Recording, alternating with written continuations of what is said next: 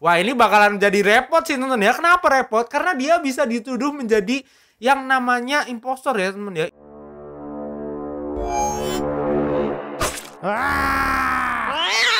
Halo manusia, kembali lagi bersama aku Nevike Dan iya, pada video kali ini aku bakalan Waduh ini tuh video yang sangat-sangat spesial ya teman ya Kenapa? Karena siapa dari kalian yang kemarin-kemarin ini atau belakangan itu sangat suka dengan game Among Us ya?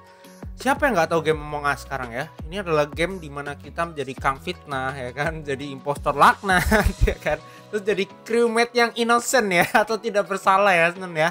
Dan sayangnya beberapa kali ini aku live stream itu sering banget kedapatan cheater yang kadang bikin meresahkan banget lah pokoknya ya. Bisa jadi impostornya terus ngekill semuanya terus atau uh, bikin waktu voting gak ada. Pokoknya itu meresahkan banget lah teman ya. Dan juga karena Among Us ini sebenarnya adalah game yang muncul di tahun 2018 yang berarti umurnya itu udah hampir 2 tahun ya teman ya. Udah lebih dari 2 tahun malah soalnya waktu itu kalau nggak salah Agustus keluarnya. Aku juga nggak tahu kapan. Yang jelas umurnya itu udah 2 tahun dan publishernya atau developernya itu mau atau merencanakan sebuah update ya teman ya. Jadi ini bukan update kaleng-kaleng ya teman ya. Ini adalah update di mana uh, judulnya berubah menjadi Among Us 2 ya kan. Among Us 2 ya. Jadi ibaratnya ini season 2-nya lah teman ya. Sequelnya.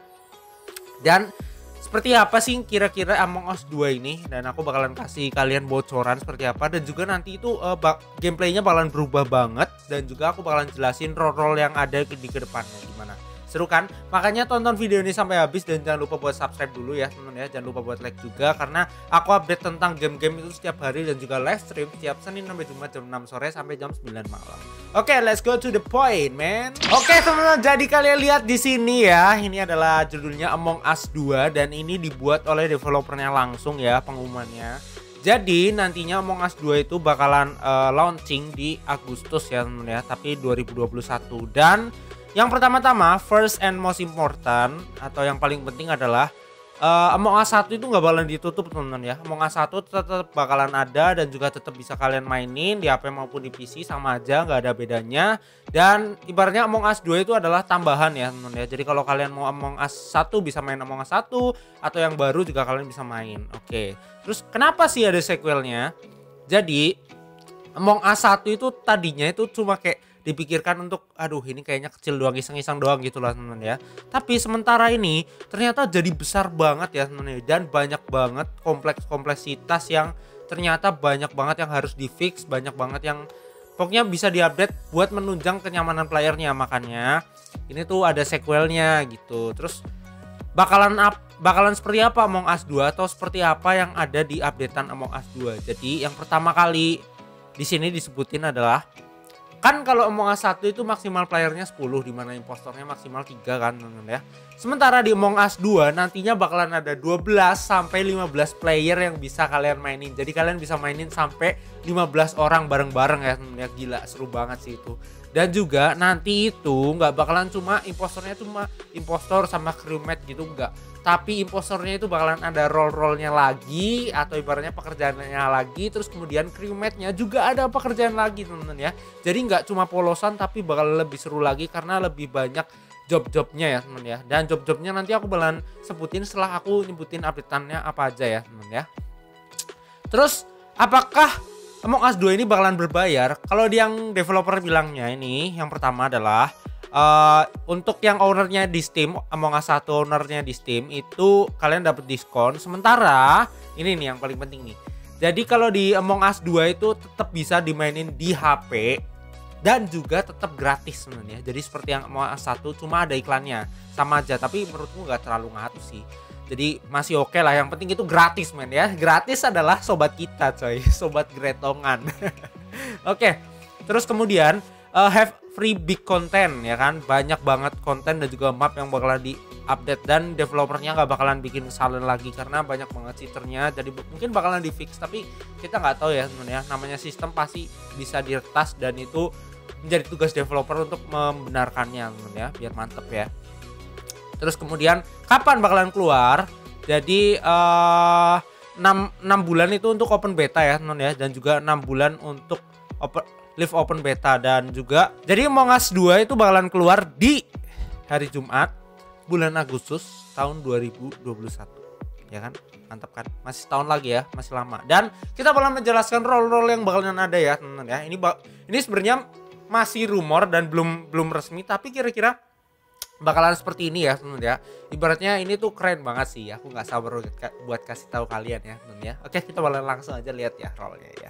Oke teman jadi ini adalah role dari Among Us 2 ya teman ya. Jadi impostor itu ada beberapa role-nya juga teman ya. Yang pertama adalah spy.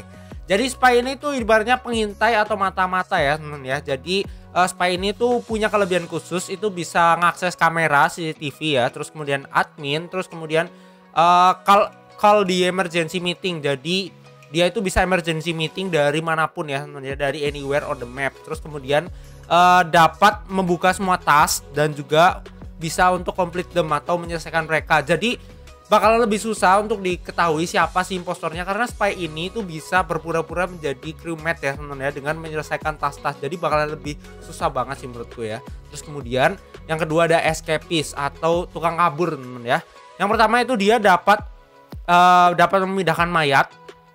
Dapat memindahkan mayat. Ke, terus kemudian uh, dia juga dapat masuk ke fan kalian tahu kan kalau krim eh kalau impostor itu bisa masuk ke fan itu biasanya kan lama kan kayak twing gitu kan. Nah sementara kalau escapist ini itu 90% delay-nya dari twingnya itu bakalan diredus jadi cepet banget sih kayak cep gitu doang. Dan itu bakalan berguna banget buat uh, impostor yang suka ngakil terus habis itu suka bersembunyi ya. Kemudian ini mantap banget sih escapist terus kemudian Selanjutnya ada impostor ring leader. Ring leader itu apa sih? Jadi uh, kita baca ya nun ya. When near another impostor, jadi kalau dekat impostor lainnya itu dapat memakan mereka ya, dapat memakan mereka. Terus kemudian impostor yang dimakan itu nggak mati teman ya. Jadi cuma bersembunyi di dalam perutnya. Terus kemudian bisa dia bawa gitu. Jadi ibaratnya uh, impostor ini tuh bisa ngumpetin temennya ya teman ya. Jadi bisa ngumpetin impostor lainnya. Terus kemudian uh, di mapnya dia itu bisa tahu di mana sih impostor lainnya. Jadi uh, biasa kan kalau kita lihat map itu polos doang ya, cuma tas doang. Tapi sementara kalau ring leader ini bisa tahu di mana temennya gitu. Terus kemudian uh, ada saboteur ya atau tukang sabotase atau tukang apa ya ibaratnya itu tukang bikin masalah lah, tukang nyabotase lah temen ya.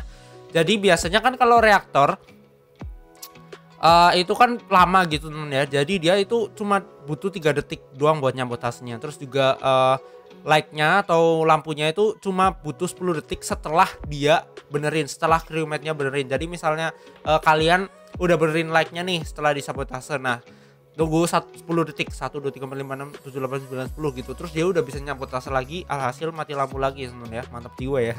Terus kemudian uh, oksigennya number itu much longer, much longer itu lebih lama lagi teman ya. Terus kemudian uh, oh ini juga bisa comms atau dia itu bisa membuat membuat tasnya atau ibaratnya tas yang dipunya crewmate itu di ando atau misalnya udah selesai nih habis itu dibikin gak selesai lagi teman ya di ando gitulah teman ya. Terus kemudian yang hunter ini ini hunter ini kompas track player of choice every 15 second. Oh jadi ibaratnya mungkin mungkin ya. Ini dia kayak ngasih dart gitu atau ngasih peluru cep ke ke crewmate-nya. Habis itu dia bisa tahu lokasinya setelah eh setiap 15 detik. Jadi kayak radar gitu loh. It it dit gitu loh teman ya. Terus kemudian kill cooldownnya itu reduk reduksi atau ibaratnya dikurangi kill cooldownnya misalnya kan biasanya kalau uh, impostor kan sama semua misal 30 detik. Nah dia itu dikurangi 4 detik ya. Jadi 26 detik doang. Jadi dia ngakilnya lebih cepat teman ya. Lebih ibaratnya lebih kampret lah. Terus kemudian ada framer jadi framer ini tuh salah satu yang paling kampret. Kenapa? Karena dia itu bisa ngeracuni crewmate-nya ya. Jadi dia bisa menebar poison. Jas, habis itu 10 detik setelah poisonnya masuk, itu crewmate-nya bakalan meninggal ya, bakalan langsung gitu. Jadi dia itu punya waktu buat kabur dulu ya. Jadi ini bakalan lebih susah banget sih buat crewmate-nya. Dan juga uh, dia itu bisa memanggil emergency meeting sampai 15 detik setiap game aku aku nggak terlalu ngerti sih. Can set the timer of emergency meeting to 15 second once a game. Uh, pokoknya tentang emergency meeting lah sebenarnya. Aku nggak tahu pastinya tapi yang jelas ini ya itu kampret-kampret banget impostornya. Udah udah tukang fitnah ya kan. Terus sekarang banyak banget lagi ya. Tapi tenang tenang. Walaupun impostornya jadi banyak tapi crewmate-nya juga sekarang punya kelebihan ya teman ya. Kelebihannya seperti apa? Let's go kita lihat aja cuy. Oke teman ya. Setelah tadi kita lihat bahwa impostornya itu menjadi sangat sangat sangat kampret. Bentar aku aku pindahin ini dulu. Nah teman di sini aja ya teman ya. Kenapa? Karena tadi uh, takutnya ketutupan muka aku ya. Karena aku pakai langsung rekaman gitu jadi nggak bisa dipindahin kameranya. Oke, dari crewmate sendiri setelah kita lihat imposternya itu tadi kampret banget karena kelebihannya gila-gila banget. Crewmate-nya juga gila-gila banget ya teman ya nggak kalah saya. Yang pertama ada vigilante. Jadi uh, bisa ngekill, bisa ngekill orang, bisa ngekill crewmate ataupun bisa ngekill impostor setelah dia nyelesain tasnya. Jadi kalian harus nyelesain tasnya dulu. Tugas kalian udah kelar, kalian bisa bunuh satu orang ya. Maksimal satu dalam satu game. Ini mantep sih. Tapi hati-hati kalau salah salah bunuh ya repot juga sih. Terus kemudian ada job yang kedua namanya alarm. Jadi alarm ini tuh bisa uh, bisa membunyikan alarm setelah dia mati teman ya. Jadi misalnya um, 10 detik setelah dia mati itu dia bisa aktifin alarm ya. Menurutku ini nggak terlalu guna sih. Toh bakalan ditemuin juga ya teman ya. Oke terus kemudian dari yang ketiga itu paranoid. Cancel fan for 15 second. Oh dia itu dapat menyegel ya. Ibaratnya fannya itu nggak bisa dimasuki sama si impostor ya teman ya. Jadi uh, fan itu ataupun lubang ya ya. Kalau di map map lainnya polus kalau nggak salah itu kan ada lubang sementara kalau di map biasa itu ada fan. Nah itu dia nggak bisa dimasukin impostor selama 15 detik. Menarik ya. Oke tapi nggak terlalu yang wah banget sih aku lebih kerenan si vigilante ini ya teman ya. Terus kemudian yang keempat ada remote. Dapat memanggil emergency meeting dari dari mana pun. Oh, sama ya seperti imposternya tadi. Jadi ini remote ini ibaratnya kayak remote control bisa langsung memanggil emergency meeting ya ya. Oke sih tapi nggak nggak yang wah banget sih kalau aku bilang. Terus kemudian ada visionary. Ya kita baca dulu ya. When this player report body get a kill cam. Wow! Jadi ketika visionary ini itu nge-report ada yang mati gitu. Dia itu dapat dapat sebuah penglihatan ya dapat kill cam yang menunjukkan adegan di mana player itu dibunuh tapi tapi ya teman-teman ya tapi uh, adegan itu tuh di blur teman-teman ya. Jadi dia nggak bakalan bisa tahu warna dari imposternya itu apa ataupun namanya dari imposternya apa. Jadi cuma kayak ya cuma kayak seklibatan gitu teman ya. Tapi di blur ya teman ya. Ini menarik sih ini bisa menjadi clue yang sangat luar biasa teman ya. Bisa makin seru tuduh-tuduhannya ya jadi tukang fitnahnya kayak aduh repot lah teman ya. Visionary ini menurutku cukup berguna sih. Terus kemudian ada yang namanya technician. Technician ini after finishing all tasks this player can use fans. Max duration in fan of 7 second. Waduh. Technician ini setelah tasnya udah kelar tugasnya udah kelar dia itu bisa berbunyi bersembunyi di fan ya teman ya. Wah ini bakalan jadi repot sih teman ya. Kenapa repot? Karena dia bisa dituduh menjadi yang namanya impostor ya teman ya. Ini ini sih impostornya OP sih teman ya. Ini crewmate-nya bisa dituduh kalau bisa masuk fan ya. Wah ini bahaya sih nggak bisa asal tuduh lagi teman ya kalau masuk fan ya. Karena belum tahu itu teknisian atau impostor ya teman ya. Wah ini jadi kompleksitasnya bertambah dan bakalan jadi menarik banget sih teman ya. Luar biasa banget sih ini developernya.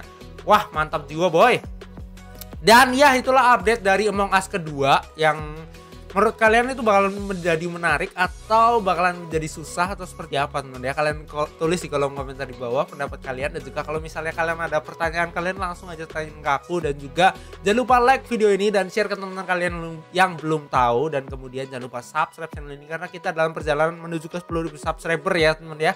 Karena Nevi kita adalah channel gaming yang salah satu pas paling aktif dengan update video setiap harinya dan juga live setiap hari Senin sampai Jumat jam 6 sampai jam 9 malam ya. Jadi stay tune, jangan lupa buat subscribe dan selalu dukung Navigate. Terima kasih buat kalian yang nonton dan sampai jumpa di video berikutnya. Bye bye. Subscribe.